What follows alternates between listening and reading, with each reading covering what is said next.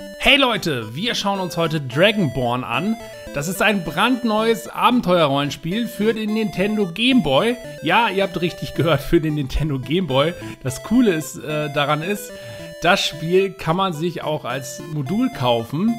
Ich hab, wurde vom Entwickler gefragt, ob ich ähm, eine ROM haben will. Und ja, natürlich, sofort, auf jeden Fall.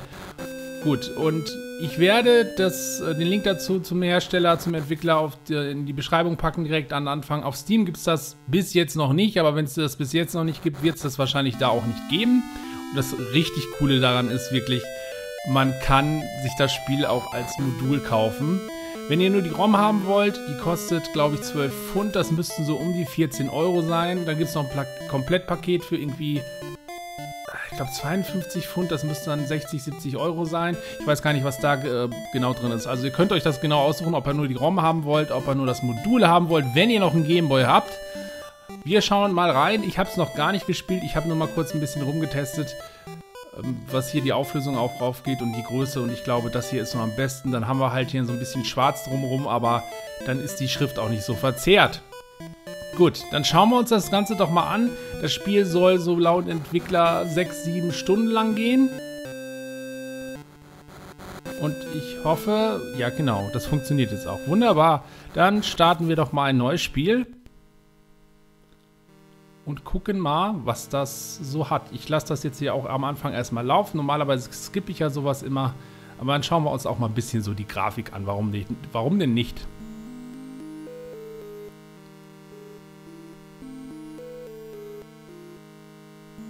Das ist mal Nostalgie.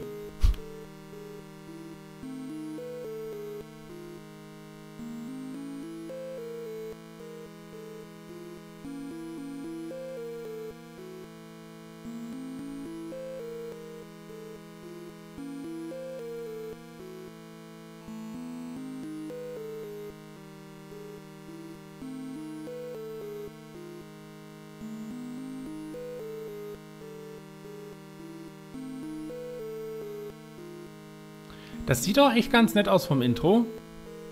Da wurde wer von einem Drachen entführt. Da reitet wer hinterher. Und wahrscheinlich die Person, war es eine Frau, war es ein Mann, ich weiß es nicht, junge Mädchen, keine Ahnung, zu retten.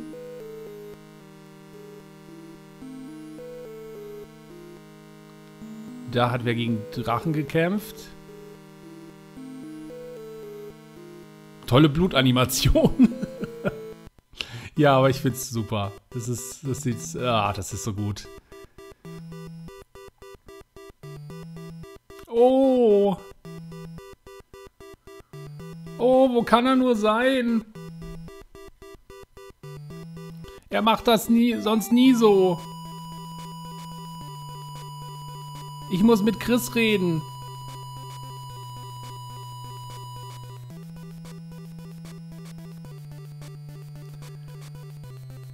Chris, wach auf, mein Lieber.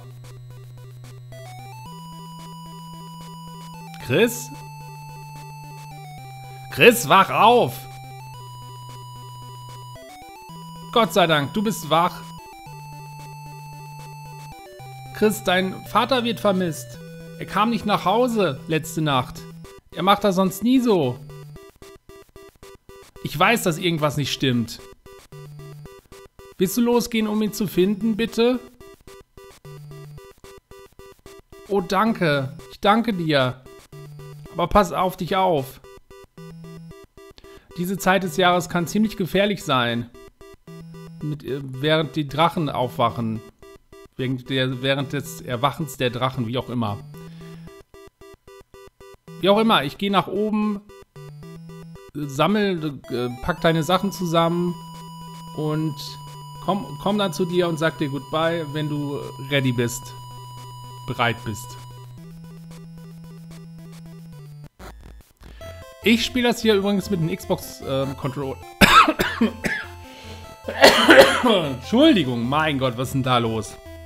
Was ich sagen wollte, ich spiele das hier mit einem Xbox-Controller. Habe das konfiguriert. Ich hatte da auch gleich eine Emulator-Empfehlung mit bei. Wenn ihr euch das holt, ich weiß nicht, ich denke mal, das steht irgendwo auf der Website, was da für ein Emulator für empfohlen wird. Und ja, ähm, falls nicht, ihr könnt ja, wenn ihr euch das holt und fragt euch, was soll er dafür nehmen? Ihr könnt ja einen Kommentar schreiben, dann gucke ich mal, was ich hier genau habe. Wir haben eine, äh, einen großen Heiltrank gefunden. Okay, so. Ansonsten, was ist das denn da? Ah, können wir speichern. Gut. Fortschritt wurde gespeichert. Das nenne ich mal Fortschritt hier. Wir sind aus dem Bett aufge auf aufgestanden und dann zu unserer... Bist du unsere Mutter? Ich glaube, du bist unsere Mutter, ja. Ja, du bist unsere Mutter. Gut. Hast du dir den Speer von unten mitgenommen? Ja, wenn du speichern musst, äh, willst, dann kann man an den Kristallen speichern. Kannst nicht mehr als 20 äh, je, jedes Tranks mitnehmen. Oh, 20 ist aber schon eine Menge, oder? Ach, ist das hier der Speer? Ja. Das ist doch schon mal super. Dann haben wir jetzt einen Speer. Ich gehe mal kurz ins Menü rein. Wenn ich Start drücke, dann haben wir hier so ein bisschen die Lebenspunkte, Angriff und was ist das da drunten, drunter? Energie wahrscheinlich. Mit Select kann ich mir hier die Potions anschauen. Hier sind auch schon direkt alle aufgelistet, die es im Spiel gibt. Und wie viel wir davon haben. Gut, gehen wir mal zurück. Inventar gibt es auch. Haben wir ein paar Inventarslots. Ähm, ich weiß jetzt nur nicht. Ja, gut. Das wird nicht extra auf, äh, aufgelistet, was man direkt dann, ja, was man halt so kennt, wenn man so eine Figur hat und die Sachen darum, das ist hier halt nicht. Okay, das, äh, Status kennen wir auch. Unten haben wir unsere Münzen. Wir haben unseren Speer, dann ziehen wir doch mal los. Hast du noch was zu erzählen? Ja, wir haben unseren Speer mitgenommen. Gut. Ja, ja, wir wissen's, wir wissen's. Und hier war halt... Ist leider leer. Nicht alle. Das sieht auf jeden Fall echt nett aus. Gehen wir mal hier hoch.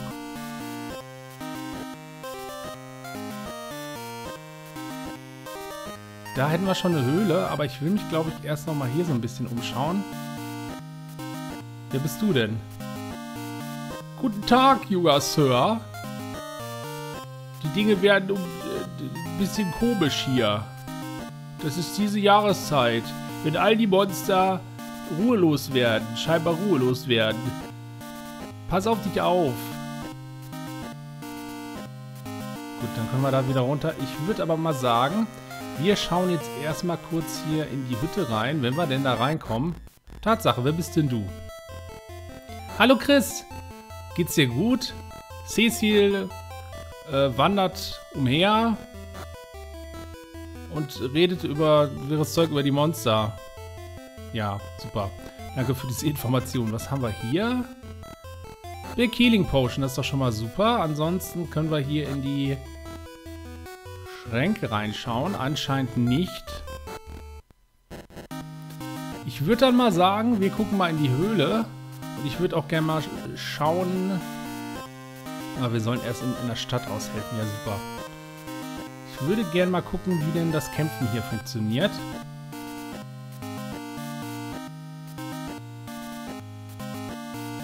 Was ist denn mit dir? Hi, Chris! Gehst bitte, bitte äh, besser schnell ins Stadt. Da gibt's Probleme. Die Dragen, äh, Drachenzahn-Gang hat einen Aufstand angezettelt. Gut, und da mag wohl irgendwo ein Drachenschuppe, Dragon Scale, ist das eine Drachenschuppe, irgendwo im Untergrund sein, in einer Höhle. Hinter dem Felsen da. Aha. Lass mich raten, wir können? Ja, wir können. Haha. Gut. Was haben wir denn hier? X markiert die Stelle. Gut, wir konnten den Stein wegschieben, dann können wir jetzt auch die Steine wegschieben. Dann würde ich doch mal sagen, wir machen das einfach so. Das sollte auch ziemlich selbsterklärend sein. Das ist jetzt nicht so rätselhaft. Vom Rätsel her. Gut, dann schieben wir das mal dahin, dann da hoch, genau, dann können wir... Wir haben eine Dragon Scale gefunden. Da unten ist noch eine Kiste. Aber ich wüsste jetzt ehrlich gesagt nicht, wie wir da so drankommen. Gut, wir könnten natürlich, ich glaube nicht, dass man hier einen Stein verschieben kann. Doch, den kann man verschieben. Tatsache, geht doch. Was haben wir denn hier? Wahrscheinlich einen Heiltrank oder sowas. Nee, Münzen diesmal. Okay, nehme ich auch. Was soll's. Heiltrank oder Münzen. Mit Münzen kann man sich auch einen Heiltrank kaufen. Ist halt die Frage, wie teuer die dann sind, aber... Gut, was haben wir hier? Fluss Horak. Wir könnten auch hier noch gucken. Können wir da rüber? Das sieht doch so aus, als ob man da irgendwann rüber kann. Da ist eine Brücke. Frage ist nur, wo geht's denn jetzt hier bitte zur Stadt? Mit ihr will ich jetzt erstmal nicht reden, sondern ich würde gerne mal... Gehen wir erstmal hier runter. Das sieht doch schon mal ganz interessant aus. Wer bist denn du? Chris, dein Vater wird vermisst. Ich sah ihn in der Stadt. Äh, ich sah ihn gestern in der Stadt. Gestern Morgen in der Stadt. Aber er scheint verschwunden zu sein seit, äh, seit dann. Seit gestern. Ja, ja. Dragon Tooth Gang hat Trouble verursacht. Vielleicht geht er durch die Drachenhöhlen. Wir sollen Skyrock überprüfen. Wir brauchen fünf Dragon Scales, damit wir da reinkommen. Ach so, quasi als Schlüssel. Gut, da ist dann die weiße Hexe in dem anderen Haus. Und ansonsten, was haben wir hier noch so? Noch eine Healing Potion. Wir werden wahrscheinlich, wahrscheinlich mehr davon brauchen. Noch eine Healing Potion. Und was haben wir hier? Noch eine Healing Potion. Alles klar, gut. Dann hätten wir das auch erstmal. Dann haben wir ein paar Healing Potions, ein paar Münzen. Und hier sind wir jetzt Dorgan, Stadt Dorgan. Oh Chris, bitte hilf uns. Die Dragon Tooth Gang versuchen in unsere Häuser einzubrechen. Bitte halt sie auf! Gut, dann kommen wir bestimmt gleich schon mal zum Kämpfen. Was ist denn das hier? Das ist ein Kampf. Dragon Tooths. Tooth. Und wir sind natürlich Chris. Sieht generell so von der Optik sieht das echt hübsch aus. Special Attack haben wir, wir haben Magic. Wir können bis jetzt noch keine Magie benutzen. Wir könnten dann hier eine Potion trinken. Aber da steht nicht bei, wie viel die halt, oder? Special Attack haben wir auch noch nicht. Ach, das ist dann an eine Waffe gebunden scheinbar. Wir können aber normal angreifen. Der Gegner benutzt Devious Intent.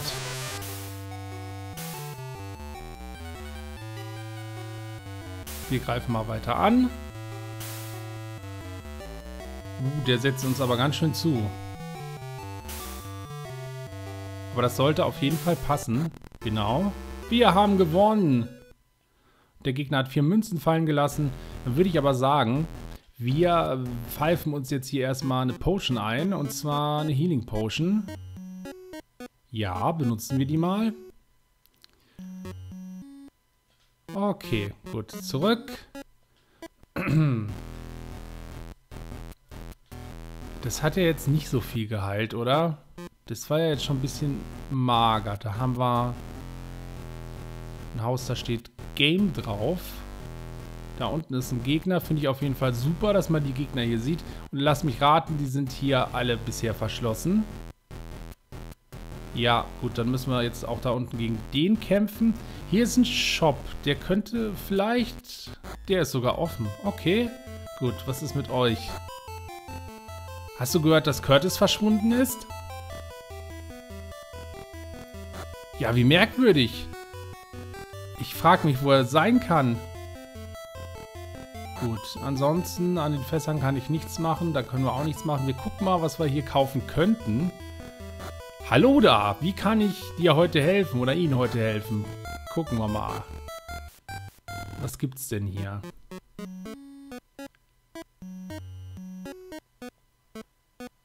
Wieso? Ja, aber warum kann ich... Da steht halt nicht bei, was was ist, oder? Ach so, ich kann... Ah, gut. Healing Potion kostet... Healing Potion kostet zwei Goldstücke. Große, großer Heiltrank kostet. Ja. Mehr, wir haben erstmal genug, würde ich sagen. Und dann gibt es noch die anderen Sachen. Das ist Super Heal Spell. Für 8. Nein. Stärketrank. Ich glaube, lassen wir auch erstmal. Wir geben erstmal nichts aus. Sondern ich werde jetzt definitiv erst nochmal hier den so einen anderen Heiltrank nehmen. Gut, wir haben ja noch genug. Das heilt dann sogar 12 Lebenspunkte. Wir haben auch 8 Münzen. Wir sind wieder voll. Und dann würde ich jetzt gerne nochmal gegen dich hier kämpfen.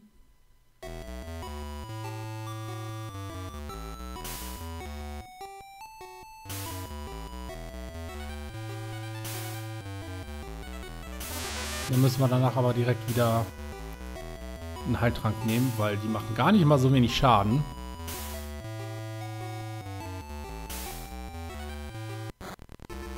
Gut, geworden. Vier Münzen gibt's. Davon könnten wir uns immer einen großen Heiltrank kaufen. Wir nehmen jetzt mal... Gut, 12 HP Heilung. Und wir sind soweit wieder fast voll. Ja, das könnte ein bisschen zu wenig sein. Wir laufen jetzt aber einfach hier nochmal ein bisschen weiter, würde ich sagen. Ja, da ist schon wieder so ein Gegner. Aber gut, man kann sich auf jeden Fall hier erstmal umschauen. Was gibt es denn auf der Seite? Das gehört ja auch alles noch mit zur Stadt. Das hier ist der Schmied. Da kommen wir noch nicht rein. Da nee, kommen wir gar nicht rein, oder? Der steht wahrscheinlich vor seiner Hütte dann.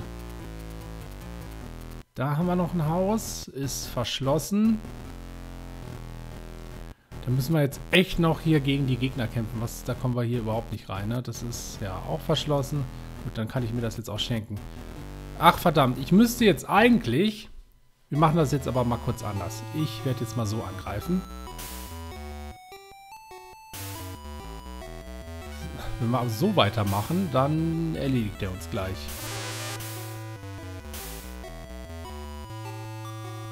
Gut, ich werde jetzt schon mal hier einen Trank einwerfen.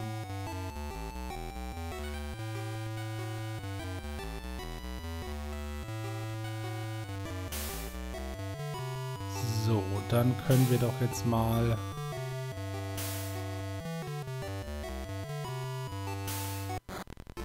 Ah, ich müsste gleich aber eh dann Teiltränke kaufen. Es gibt noch mal ein paar Münzen. Aber wir können uns eigentlich immer von diesen vier Münzen dann einen großen Heiltrank kaufen. Wir haben jetzt schon 16. Ich werde jetzt gleich hier schon mal den letzten nehmen. Gut, dann machen wir das doch. 12 HP. Gucken wir hier unten nochmal. Gibt es denn hier unten vielleicht nochmal irgendwas? Ne, da ist schon Ende. Hier wäre noch was. Eine Ente, ein paar Bänke, so ein Grasfeld wahrscheinlich. Oder eher so ein Blumenfeld, keine Ahnung. Da könnten wir kämpfen. Aber nun gut, das soll es aber eigentlich auch schon sein. Wir haben mal kurz reingeschaut, haben uns äh, ja generell, wie das so ein bisschen läuft, was die Leute so erzählen, was es da für Tränke gibt. Wir haben jetzt noch nicht gesehen, was es da so an Magie gibt, aber gut, das wird wahrscheinlich auch nichts Außergewöhnliches sein. Dann gibt es noch Spezialangriffe, die irgendwie an Waffen gebunden sind. Und Münzen gibt's, man kann sich Heiltränke kaufen, man kann sich Stärketränke kaufen. Ja, das kennt man ja, aber generell finde ich, ich finde es wirklich sehr hübsch. Es ist Gameboy, aber es ist wirklich sehr hübsch. Nur sollte man das dann wirklich nicht im gestretchten Vollbit-Modus spielen, weil dann ist die Schrift eigentlich nicht mehr leserlich. Ich glaube, das ist so wirklich das beste, die beste Option oder man spielt es wirklich im Fenstermodus in der Größe. Das ist auch das größte, äh, im, im, Emulator so die, das größte Fenster, was man so auswählen kann. Und das sieht doch noch ganz gut aus. Das passt auch von der Größe eigentlich, würde ich mal sagen. Ja, das sollte nur mal ein ganz kurzer Eindruck sein vom Spiel. Macht auf jeden Fall Bock auf mehr, würde ich sagen. Und vielleicht interessiert euch das ja. Wie gesagt, ich packe dann den Link zur, zum Entwickler unten in die Beschreibung. Ich hoffe, ihr hattet ein bisschen Spaß mit dem Video und mit mir. Und wenn euch das gefällt und wenn ihr mehr davon sehen wollt, würde ich mich natürlich sehr über ein Abo freuen. Das war es erstmal wieder von mir und bis bald.